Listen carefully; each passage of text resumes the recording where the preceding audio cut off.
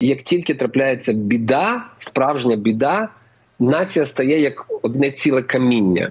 Те, що ми зараз бачимо, е, рівнозначне тому, якби у Сполучених Штатах було вбито е, близько 35 тисяч е, цивільних.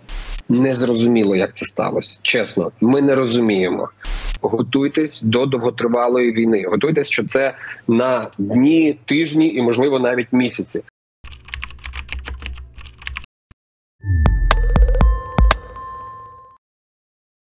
Вітаю вас! Ви дивитесь 12 канал. Актуально сьогодні про ситуацію в Ізраїлі. Як живуть місцеві мешканці, і чи не стало для них сюрпризом напад сектору Гази? Мені розповість Максим Фраєрман, який наразі проживає в Ізраїлі, але е, я так розумію, родом із Луцька і тривалий час проживав е, тут, в обласному центрі Волині. Вітаю вас, Максиме.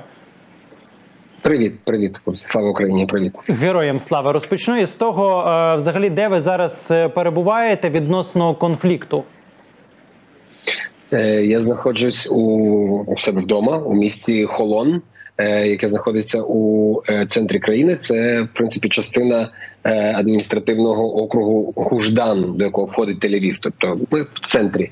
Е, Дуже цікаве на, на даний момент запитання відносно конфлікту. Тому що е, з певного моменту е, вся країна стала зоною конфлікту. Е, Якщо ви запитуєте про місце знаходження сектору Газа, то це приблизно десь біля, напевно, 50 кілометрів від мене, 40-50 десь так. Угу. Е, наскільки е, безпечно є зараз перебувати ось в центрі країни? Ви кажете, поблизу столиці? Е, ну я нагадую, що столицею Ізраїлю є Єрусалим. Тобто е, ми поблизу Тель-Авіву, але але Єрусалим це таки є столицею держави Ізраїль. Ем, Останній обстріл був десь приблизно години півтори тому. Е, Десь приблизно години півтори тому ми були в е, сховищах. Е, Наскільки- тобто тут вже не тут вже це? немає такого, знаєш, наскільки безпечно. Наскільки часто це відбувається? Тому що перед е, розмовою ви також говорили, що якщо буде сирена, то будете змушені піти до підвалу. Ну, сьогодні було три, наскільки я пам'ятаю, по центру країни. Е, вчора було десь е, біля чотирьох, п'яти.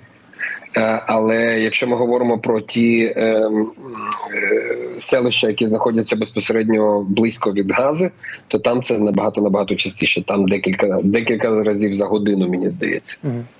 Е, Дозвольте побудувати розмову безпосередньо про те, як почуваються із- ізраїльтяни в цей момент, е, в такий момент кризи для всієї країни, і, е, зокрема, в тому, чи справді для Ізраїлю теперішній удар такий по, по країні досить таки сильним і є. І, зокрема, через те, що й був неочікуваний, наскільки зрозуміло, із медіа. Е, Я думаю, це не зовсім правильно казати, що він є досить сильним. Він є жахливим. Е, Тут ми справді не бачили такого е, з часів війни судного дня. Її також називають війна Йом-Кіпур, яка була у 73-му році. І якщо ще чесніше, то навіть ті е, е, чоловіки, що застали ту війну, е, коли у них запитують, е, як зараз у порівнянні з тим, що було, вони кажуть, що зараз гірше. Тому що е, війна Йом-Кіпуру в 73-му році вона торкнулася в першу чергу е, солдатів. Е, не було такої страшенної кількості е, жертв серед мильного населення. І коли я кажу страшенна кількість, я хочу підкреслити, що напевно будь-яку кількість жертв у певній країні потрібно оцінювати з позиції співвідношення пропорцій до населення. Е, якщо порівняти наші втрати з е, пропорціями, навіть з тими ж сполученими штатами, наприклад, окей. То те, що ми зараз бачимо, е, рівнозначне тому, якби у Сполучених Штатах було вбито е, близько 35 тисяч е, цивільних за практично е, одну добу. Це те, що відбулося тут.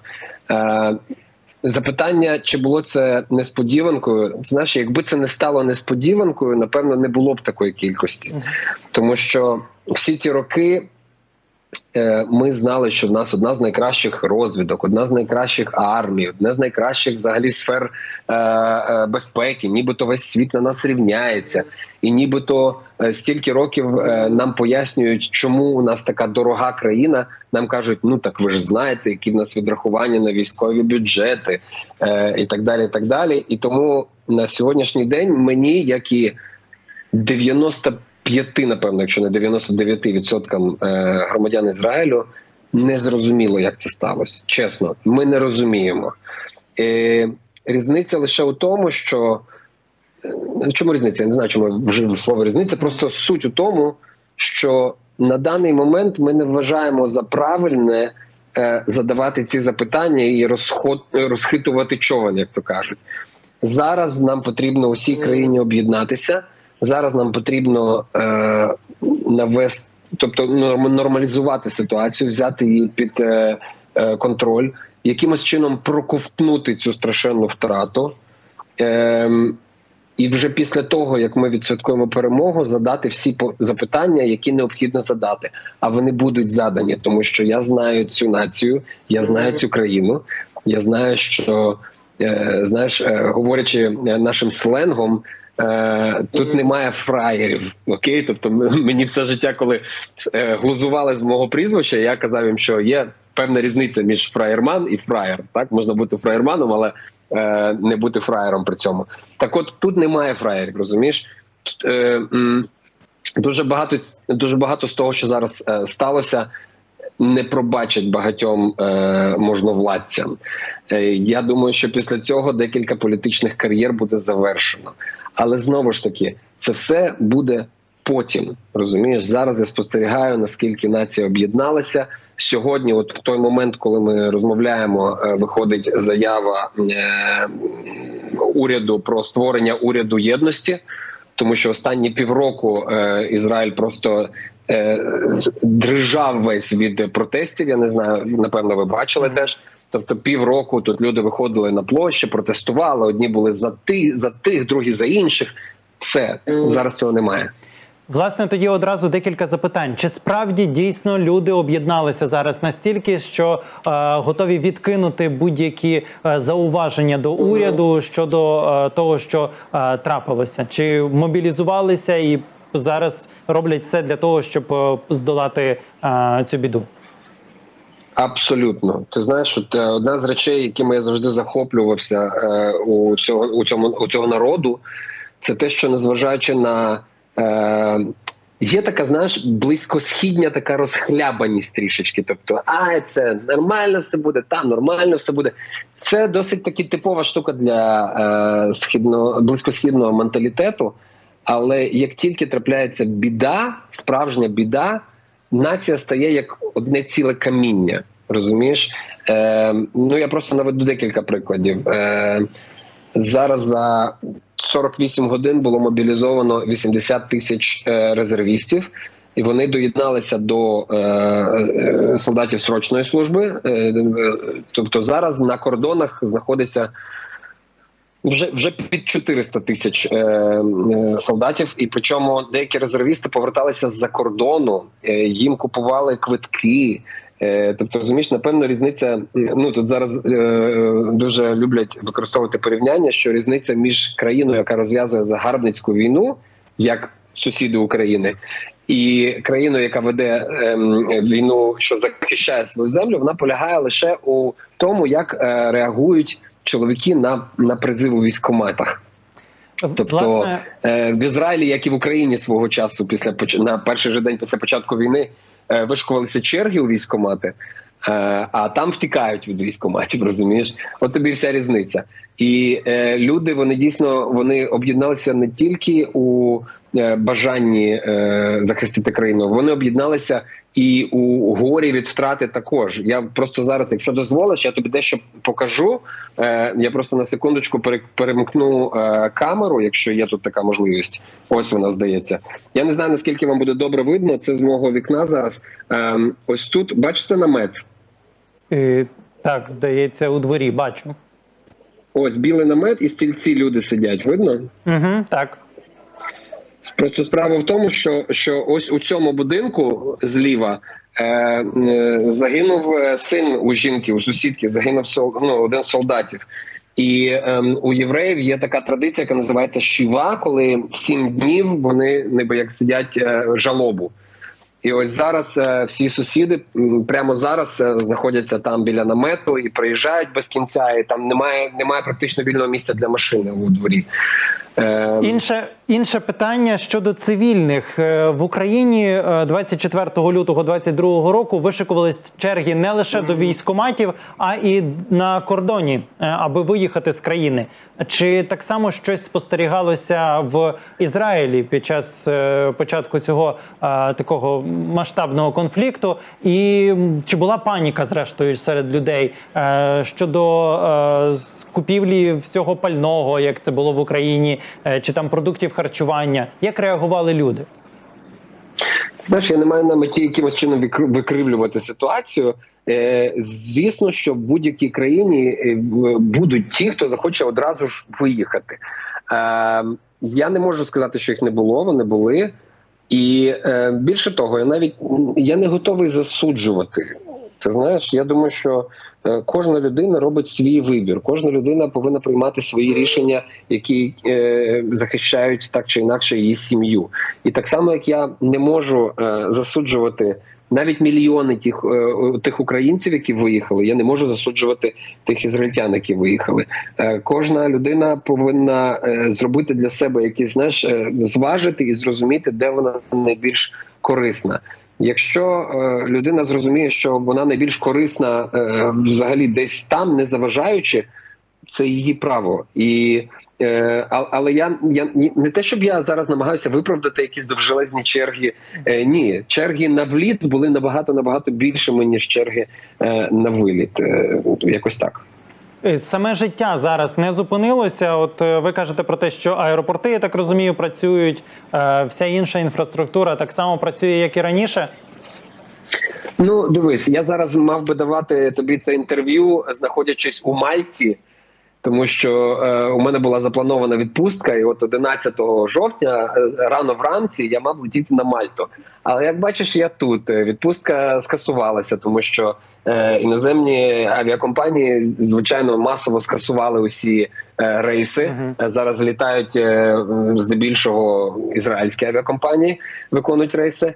А, Та і зрештою, ну я зрозумів якийсь момент, що не час зараз е, летіти у відпустку. Е, Я просто бачиш, я в силу різних обставин я не можу під час інтерв'ю е, згадувати місце своєї роботи. Е, Я не є там е, агентом спецслужб чи щось таке. Ні, я держслужбовець, але е, зрештою я зрозумів, що ну я повинен напевно все таки зараз бути тут. Тому я е, тільки завтра взяв один вихідний на свій день народження. Завтра день народження, і я сказав: я от один день я не, не буду з'являтися ніде, а потім, зрештою, повернуся до виконання службових обов'язків. Ми вже декілька разів під час цієї розмови порівняли ситуацію в Україні під час початку повномасштабного вторгнення і того, що зараз відбувається в Ізраїлі. Наскільки це коректно, на вашу думку? Наскільки це схожа ситуація?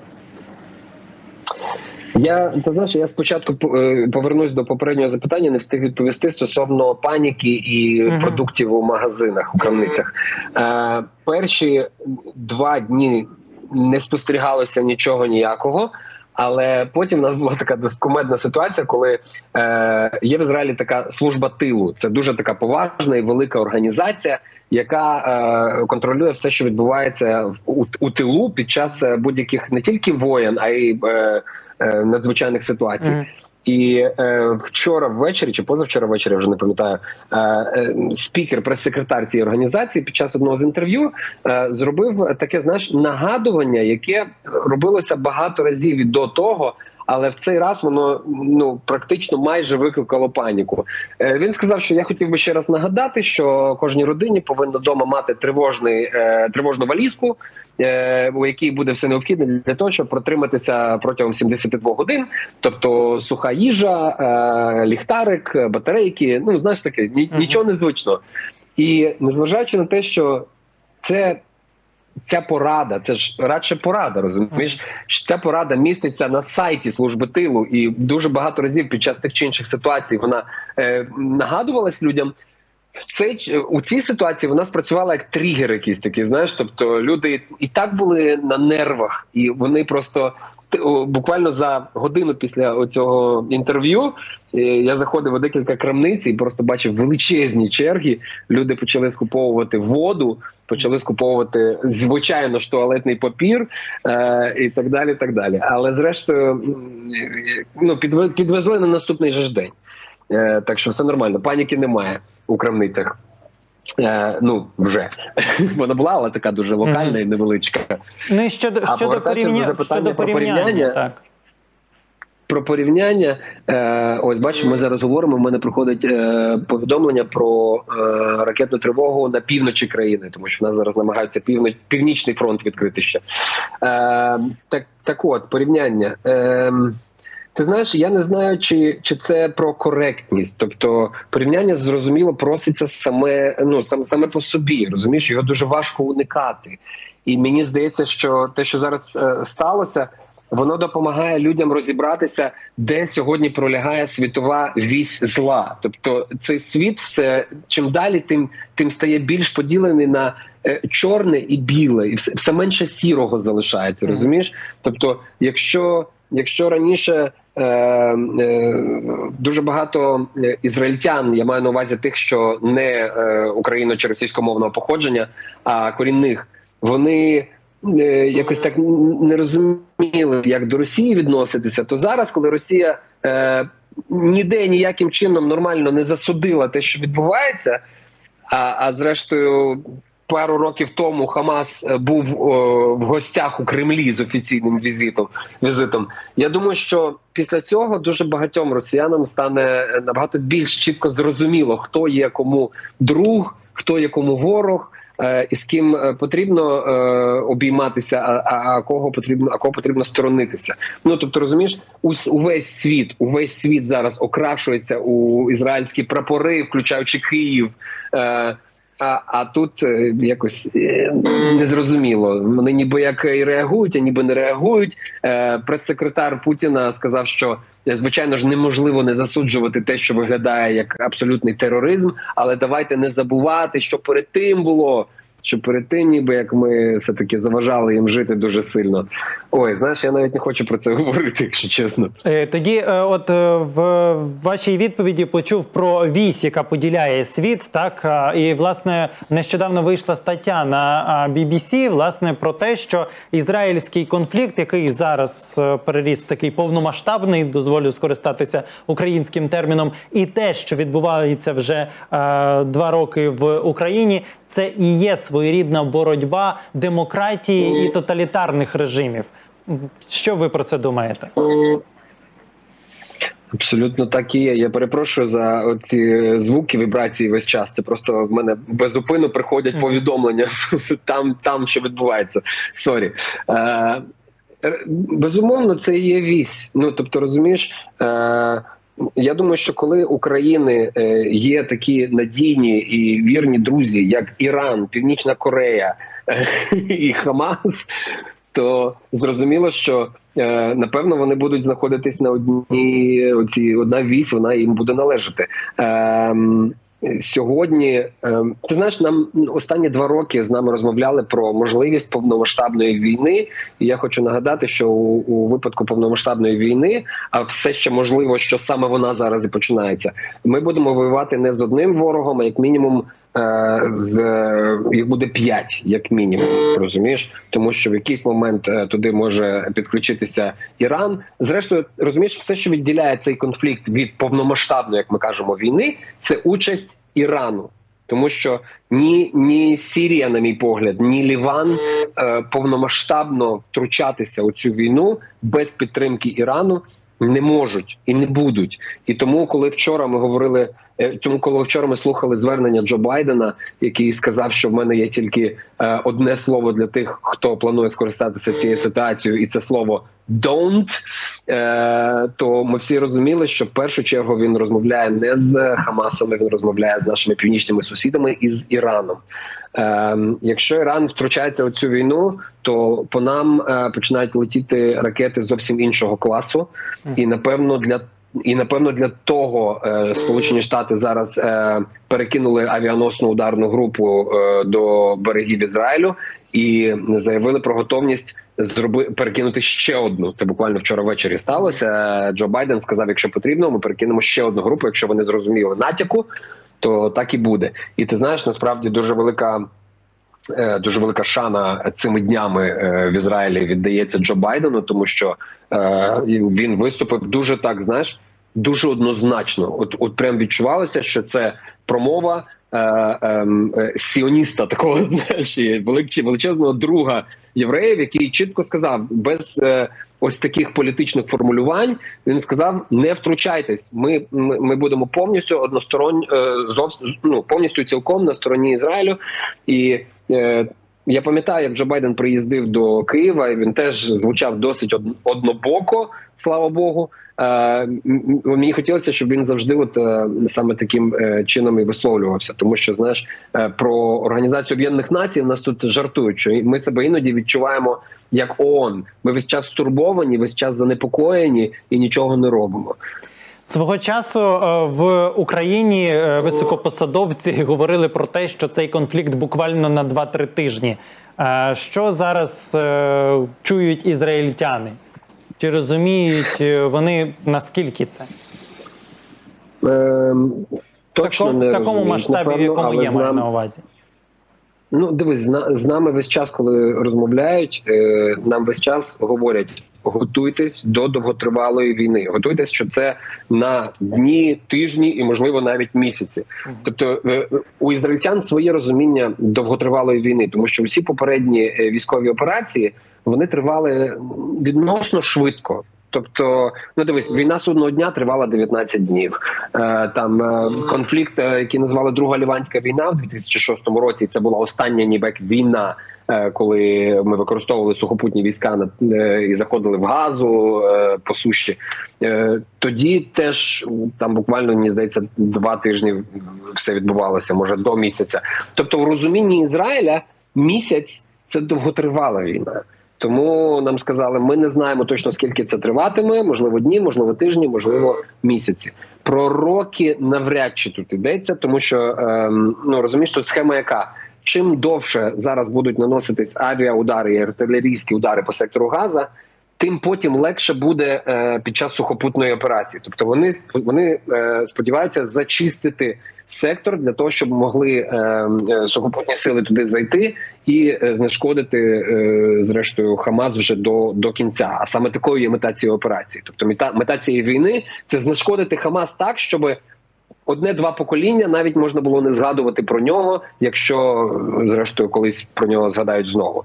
Але питання все у тому, чи нам дадуть це зробити, чи дійсно втрутяться ще декілька країн, і е, доведеться армії працювати на два фронти. Армія може працювати на два, і на три, і на чотири фронти. Це можливо, але просто це все затягує весь процес. Розумієш? Угу. Власне, про е, бомбардування гази е, там теж гинуть і мирні мешканці. Як до цього ставляться ізраїльтяни?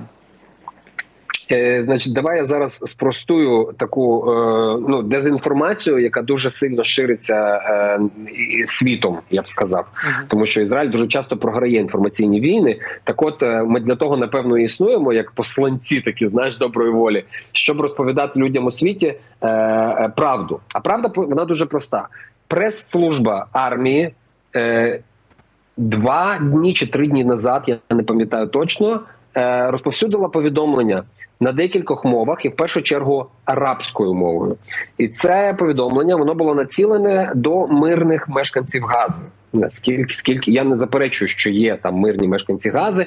Я не заперечую, що є люди, яким не подобається е, влада Хамасу, але вони дуже дуже бояться е, сказати, хоч слово, тому що це не як е, в Росії, де можуть посадити на 10 років. Там просто вбивають, там розстрілюють одразу. Розумієш, тому ці люди мовчать. Так, от було розповсюджене повідомлення, де армія зазначила ем, коридори сім чи вісім їх було здається, е, запропонували мирному населенню е, вийти вийти з небезпечних районів і, е, і дали їм на це 8-10 годин приблизно. Тобто е, зазвичай ЦАЛ, ЦАЛ це армія оборони. Зазвичай е, армія попереджує буквально там за півтори години. Це називається стук по даху. У нас є така процедура, коли армія е, скидає перший снаряд, який робить просто дуже гучний хлопок, такий, і це попередження, що будівлю потрібно залишити терміново і негайно. І тільки десь там через годину вже йде інша інша ракета, яка знищує будівлю. Так, от тут було не так. Тут у у заяві прес-служби було сказано: у вас є 8-10 годин на те, щоб вийти. Вийдіть, будь ласка, тому що цього разу будуть нищитись цілі квартали. І це щоб ти зрозумів, це не просто житлові будинки. Mm -hmm. Сьогодні було ну тобто, першу чергу було знищено там е, інфраструктуру Хамасу. Сьогодні просто було знищено там... університет Гази, і про це дуже багато будуть говорити там у дуже засобах щільна, масової інформації. Щільна забудова, тобто люди е, не всі ж могли вийти, так само як зараз відбувається на прифронтових територіях України, де люди також не хочуть покидати свої домівки. Взагалі, що би там не відбувалося. Дивись, е, щільна забудова згоден з тобою. У чому я не згоден з тобою, що е, люди не можуть бити, можуть розумієш. Дуже часто казали, що е, е, ніби як Нетаньяго запропонував мирним залишити газу, але куди ж їм іти, тому що ні у Ізраїль, ні в Єгипет їх не пускають. Але справа в тому, що армія знову ж таки, я повертаючись до того повідомлення, е, армія сказала, де можна збиратися мирним жителям для того, щоб мінімізувати ризик. Розумієш, їм сказали: от не знаходьтесь у цьому кварталі, перейдіть туди, тому що там ми не будемо е, бомбити, а будемо бомбити ось тут. Тому усі ті, хто дійсно хотів, вони мали можливість це зробити. Ті люди, які не послухали, а не послухали іноді через те, що той же ж таки Хамас. Е, в свою чергу дуже часто намагається переконати людей, що це все дезінформація від сіоністів. Не слухайте, це все брехня. Та та та та та Ізраїль не може нести відповідальність за тих людей, які, отримавши це повідомлення, вирішили не йти. Більше Гаразд. того, Ізраїль сьогодні навіть заяв не сьогодні. Ця заява була. Вона була здається позавчора. Що армія буде наносити удари навіть без огляду. Я не знаю, на жаль, чи на щастя, не знаю, без огляду на заручників. Розумієш? Тобто, прес-секретар армії сказав, що звичайно, якщо нам буде відомо точне місце знаходження тих чи інших цивільних заручників, які є сьогодні у газі, а їх є багато там, то ми не будемо е, відстрілюватись по тій по тій будівлі. Але якщо нам це не буде відомо ми будемо проводити операцію так, як ми її проводимо. Тобто, ну намагай е, вдумайся, якщо вони готові на жертви серед своїх. То е, відповідальність за тих мирних е, жителів Гази, які не послухали попередження, точно ніхто нести не буде.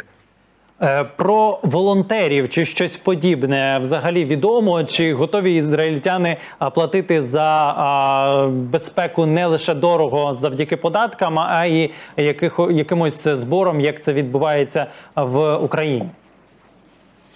Свого часу, коли я вперше потрапив в Ізраїль як турист, це було у 2006 році. Одна з причин, які заставили мене закохатися в цю країну одразу і безмежно, е, тоді якраз була друга ліванська війна. І я пам'ятаю, як е, люди е, публікували всюди, де могли оголошення. Тоді просто війна була на півночі, і люди телефонували на радіо прямий ефір і казали: в мене є там дві вільні кімнати, я готовий прийняти дві родини. Е, І люди телефонували, казали: в мене там е, є парк е, таксі, в мене є 20 машин. Всі мої водії готові безкоштовно поїхати на північ і відвести родини у безпеку.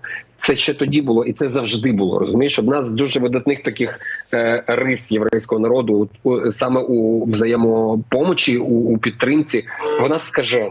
Розумієш, тобто я за сьогоднішній день зіткнувся з декількома е, телефонними дзвінками від людей, які хочуть е, допомогти і не знають, де себе приткнути, тому що їм всюди відмовляють, бо всюди є черга.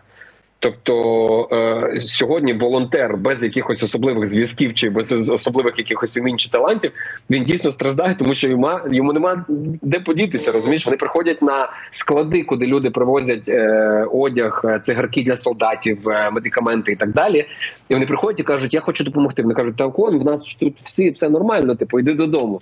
Так що, якщо почуєте десь щось інше, знайте, це неправда. Е, В Ізраїлі дуже сильний волонтерський рух, і люди дуже е, завдяки цій об'єднаності намагаються допомогти. Хто чим може, хтось е, за свої кошти купує щось, хтось привозить, хтось збирає, хтось пакує в коробки, хтось відвозить це. Я тільки що за дві хвилини до нашого до нашого зізвону бачив повідомлення з відео в одному з телеграм-каналів, де показували, як дуже відомий кримінальний авторитет приїхав на південь з е, тендером, таким знаєш, і особисто власноруч роздає солдатам цигарки, все, що він привіз. Я дякую за те, що знайшли час е, поговорити про е, ситуацію в Ізраїлі. Я сподіваюся, що це справді завершиться якомога швидше, і е, ізраїльтяни зможуть далі жити в спокої. Того самого, звісно, сподіваюся, і для України. Я просто вкрав з язика. Я тільки хотів сказати, що зараз українські е, і ізраїльські народи розуміють один одного як ніколи добре. І я дуже сподіваюся, що навіть така сумна, але сторінка цієї історії вона все одно ляже в основу е, дружніх стосунків, якими вони повинні бути, і вони завжди такими були між нормальними людьми. Дякую вам, тримайтесь теж. Ми з вами, ви з нами разом переможемо. Слава Україні! Героям слава! Дякую і вам, глядачі, що залишалися з нами протягом цього часу. Обов'язково залишайтеся із нами, тому що ще більше корисної інформації обов'язково в ефірі 12-го. І до зустрічі! Бережіть себе і будьте щасливі!